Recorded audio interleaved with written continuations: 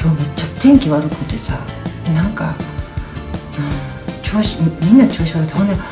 私もなんかなんかちょっとイラッとイラッとすんねん。なんかなあのうん。なんつって更年期だけど更年期更年期ってことないけど。なんかイラッイラッイラッとして。なんか普段割と穏やかな方やけど、うん、割と穏やかな方やのになんかイラッとしてつっけんどんな態度取ってたような気がする今日は。ちょっとイライラしてならそんな日があんねんなやっぱりな。でさっき思ってんけどさこの人間ってな人間って体の調子が悪い時とかあの寝てない時とかにめっちゃイライラするって。だからやっぱり睡眠と体が健康であるっていうことは心のこのバランスをこの優しい気持ちにな優しい気持ちするのに大切やと思ってな、うん、だからよく寝ることやね。だからあんま寝へんかったらなやっぱりこうイライラして人になんかちょっと当たっちゃいしたりなんかしていや別に当たらへんけど当たらへんけどいや当た当たってる私あんませえへんだけどでもやっぱりなあかんなと思った。うん。だからちゃんと寝ようと思ったしちゃんと寝て食べてそのな基本的なとこがなきちっとなあの満たされてたら人間って意外になんか精神もやばいでそこやね。なんかそこがうまくいかへんからなんか体の調子も悪いような気してんねん。うん。だから結局のところなんかやっぱりあの心のバランスっていうのは体から来てるなと。うん。だから無理をするとしんどなるやん。でしんどなった時に心のバランスを崩れんねん。そうだから体とな気持ちはなこう連動してるんやなっていう。だから体が楽になってきたら、あのー、気持ちもなんか明るくなるね、うん、だからその体壊さへん方がいいね、うん、なんかあの精神の病は精神の病はあのあこのあの精神の病はなあのえっとそんなん体がどうとかじゃないねんってな言いたくなるかもしれへんけどもな。違うねん。体やねうん。なんか最近すっごいそれを思って。あの体がしんどくなくなって軽くなった瞬間に気持ちもほんまに軽くなるからね。うん。そこ大事やね。みんななだからなそんなあの死にたい気持ちになってる人とか、うん、まずはなご飯食べて寝て。うん。ほんでもうなんか自分の欲求という三大欲求をなとりあえず満たしてみたらな。不幸な気持ちからなこうふわっとあの浮く時あるで。あほんでなあの、やっぱりなあの、間違ってねみんなななんかそのなんでなんで心のバランス悪いってほんまにストレスって全部これ体やと思うわ。うん。もうあの自分の経験談やでこれな。自分の経験談やけどやっぱその、うん、違うわ。精神が悪いんじゃない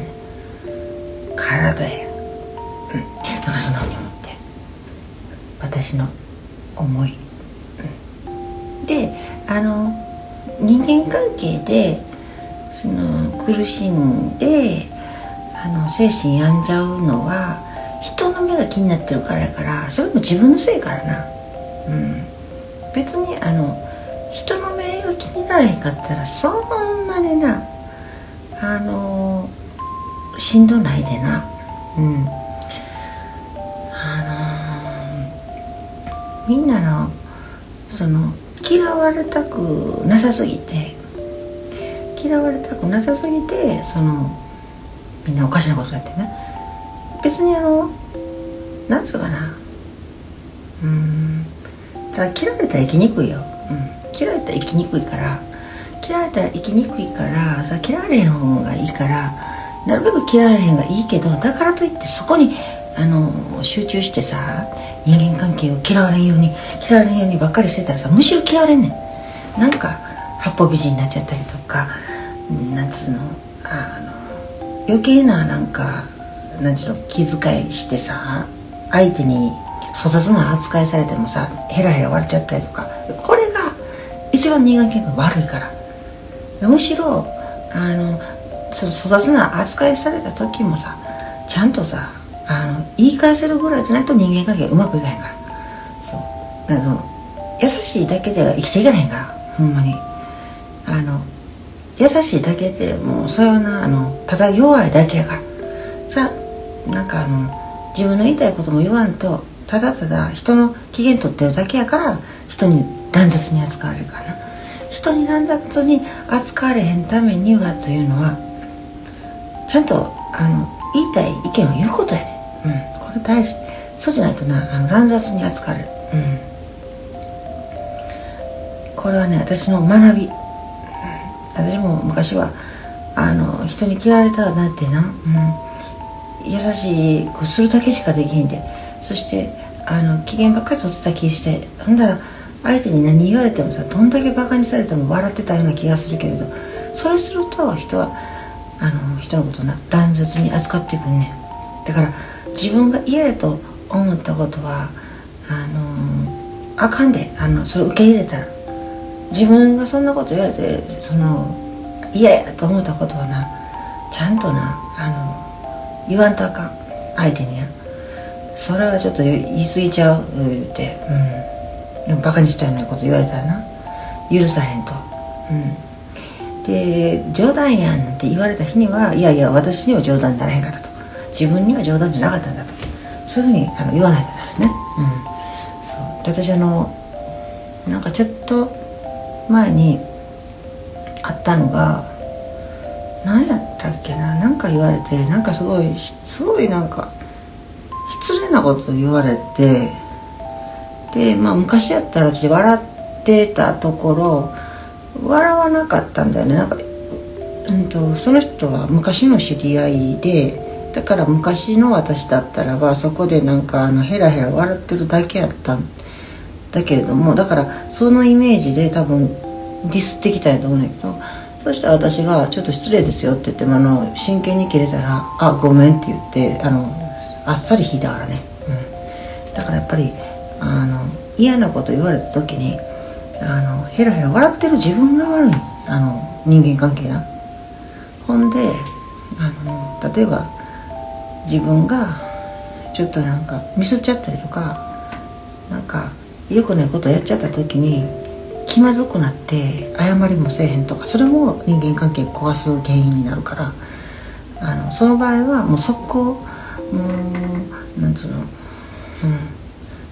自分が間違ったとで自分がやってもうたと思った時点でな人に謝ってった方がな先にやね人に言われる前に気づいた時点でなあれやけどなって自分からなあの言ってった方がいいっていうのをあの学んだな、うん、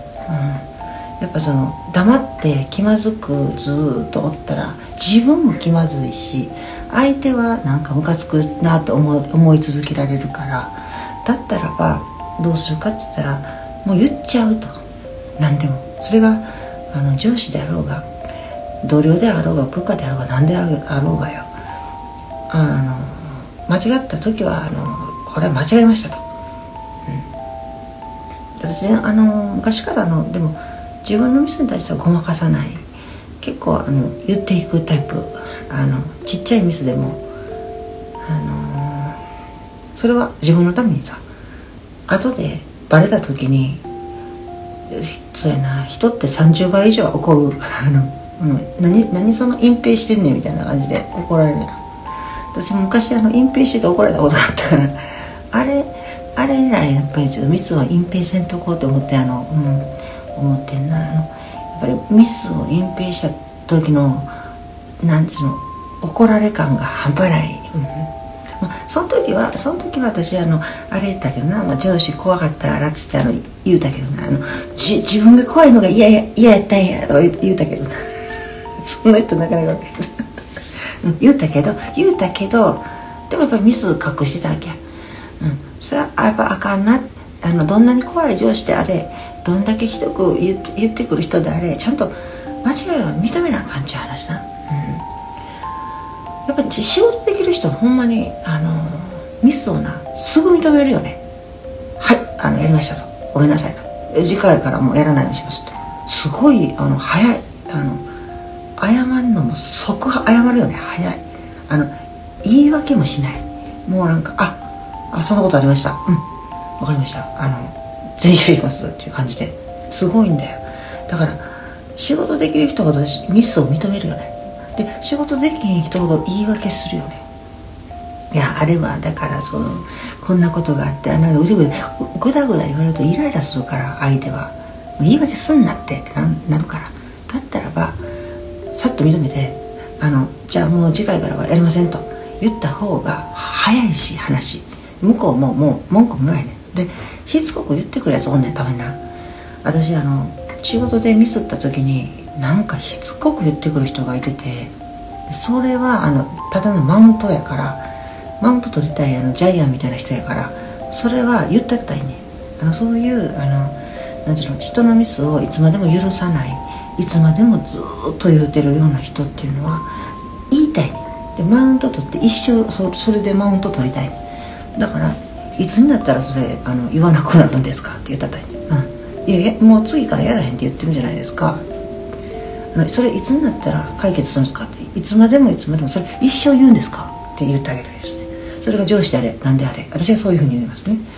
あのしつこく人のこと責めてくる人ね。で謝ってんのにしつこく責めてくる人ね。あれはもうマウント取りたい。一生マウント取りたい人。そのその一件だけでもうずっと言いたい人やねんね、うん、であの許す気なんかないよ要はマウント取りたいから。ずっとずっとそこであのなんていうのその人の弱みにつけ込んでずっとそのことで責め続けたい人やから。それに対して自分が引いてしまって自分がミスったからずっと言われるわみたいなじゃなくてあの要は自分はあの今後はやらへんって言ってんのにしつこいねってむしろ。むしろあのいやその終わったことをいつまでもいつまでもずっとねじねじ言っててもあの話解決しませんやんと、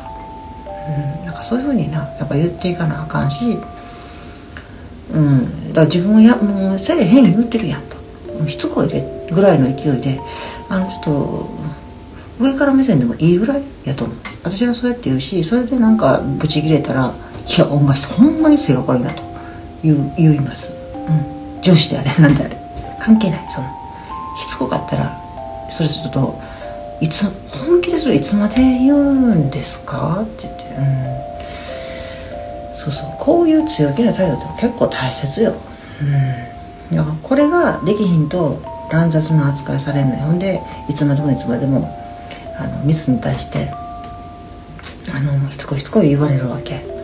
だからそのしつこく言われへんためにはあのそういう自分のがんとした、うん、て言うのかな。自分っていうのを押し出していかへんかったらほんまにあの舐められる。が舐められへんためにも引いたらあかんねん。で悪いことした時はもう謝る。もうこれもう即謝る。気づいた時点で誰にも責められる前に言う。みたいな。自分のミスは先に言うみたいな。私こんなミスしたんですけど。っていうふうに言っていったら意外にあそうなんや。じゃあまあ次はなあのもう専用にしようなみたいな感じですいませんみたいな。そう先に言っていくとめっちゃ好印象やねで後でバレたバレて白状するよりも自分からこんなミスしたんですけどすいませんって言ってた方が絶対に印象いいねなんか仕事なんかは特に私はもミスった瞬間言う上の人に「こんなミスしましたすいません」って、うん、それがあの一番あの仕事できるようにも見える。で潔いなとも見えるし周りから見ても印象いいね。だからミスることなあのなんちゅうかな。ミスることを恐れるんじゃなくてミスった後に隠蔽しててそれがバレたりあとは言い訳したりする方が印象悪いからそれをしないってことよ。うん、でそれがあの仕事がでしかも隠蔽したりとかしたらもうなんかぐっちゃぐちゃになってもうなんか何？誰にもその隠蔽した内容が分からへんもんやから余計こんがらがるみたいなことがあるのでそういうんじゃなくてあのちゃんとストレートにこうあの間違ったところどこから間違ってんのかっていうのをこう明確にした方が改善も早いしそういうようなことなんだよね。うん仕事ってさなんていうの？分かりやすいのが一番なんよ。パッと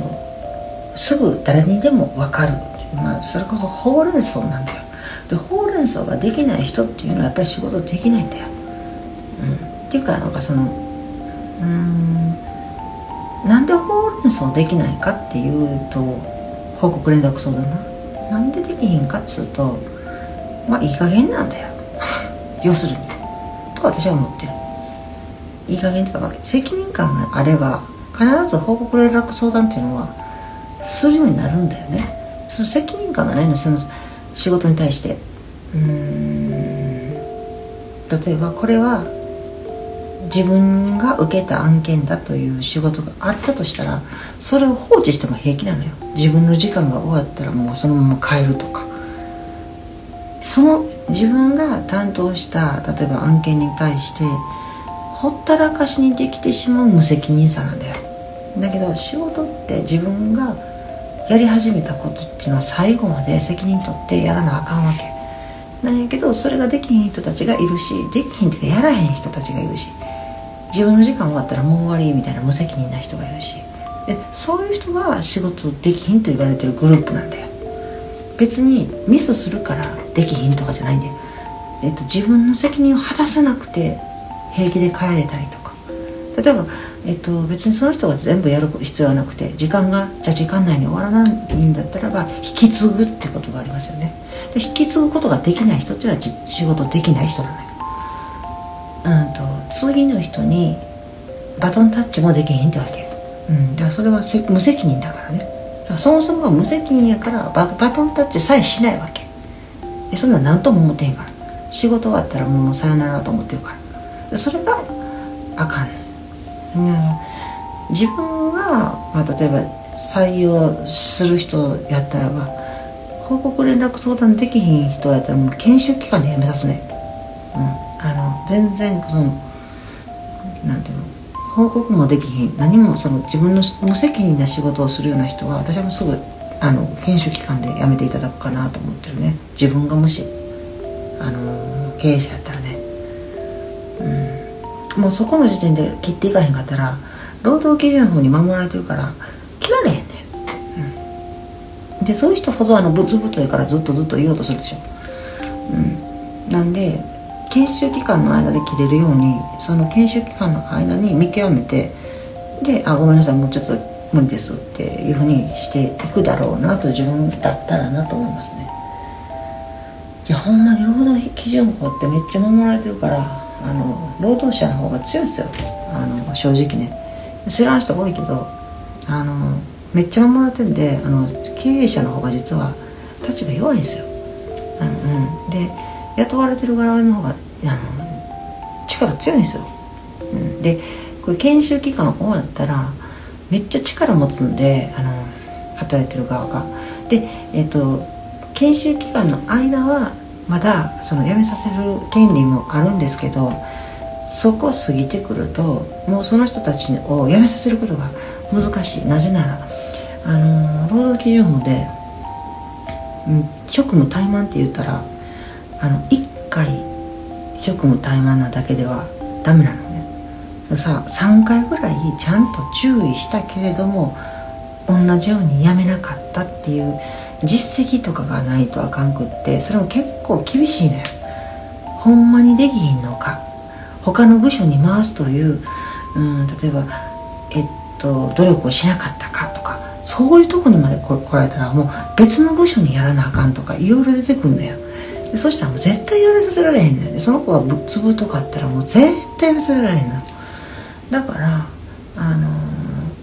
大手の企業なんかはなかなか人を切らないのであの結構居座ってる何ていうのダメな人材いっぱいおるんよね。っていうのはやっぱり人人権問題がすごいうるさいのとその大手はそれとあと労働基準法を怖がってるっていう点であのなかなかあの相手から言うまでは自分のとこからはやめさせるみたいなことはしないでね。そっちの方向に持っていくっていうのはするけどね。いやあのどうですか？みたいな風にしてあのちょっと仕事のこれ難しいんじゃないですか？みたいなことを言ってちょっとあの肩叩くみたいなことはするけれどだけど本人がやる気あります？って言ったらやめさせられへんっていうわけです、うん、うん、なのであの労働者はすごい守られちゃってるからあの経営者の人はですね気をつけないともう研修の間にこれダメやと思った時点でカットをしていかないと自分のところの人材がダメ人材にながいっぱい増えてあのそれでその人たちにお金払わなあかんくなるので無駄お金をめっちゃ払わなあかんくなるのでそれこそあの自分のところのあのお金の無駄やからあのちゃんとあの責任果たせるミスしてもいいからちゃんと自分の責任果たせる人をあの雇うってことはすごく大事。ですよね。うん、まあ何を経営者みたいなこと言っていやいやでもいやほんまに自分が経営者やってそうするやろうなと思うんですよ。であのうん例えば自分がたたくさんの事業をやったとしたら全部自分で人生したいなと思ってもね人に人生任したくないなと思って、ね、それはやっぱ自分の目で見てこの人いけてるとかいけてへんっていうのを判断したいからね、うん、いくら視点とかであったとしてもよ自分の目で絶対見たいと思うよね。誰かに人事とかに任せてとかで無理無理 変なの入ってきたら嫌やしな。変なんて別にあのあれやで。ちゃんとやってたらそんでいいねんけどさ。ほんまに無責任な人っていうのは世の中におるからね。そういう人捕まえた日にはほんまあの内部からガタガタなっていくから、うん、誰でも一応あげでもないんよね、仕事に関しては友達なんかはね私結構あの間口広いんですけど うん。そういうほどなことなかったら私は拒否しないんですけど仕事はもう別ですよね。私結構仕事のんやし、うん、ほんま仕事のんなんでもうなんかちょっとでもなんか仕事がうまくはかどらないイラッツイラッツする。仕事中人間違う、うん、ちょっと仕事中人間変わるなって自分でも、うん、思うとこある。ちょっと厳しい厳しいかなって思うとこ。あかんなって思う時ある、うん、結構ギギになっちゃうから。あかんあかんと。いつ仕事終わってからなんであんなにギギしてたんかな？とか思う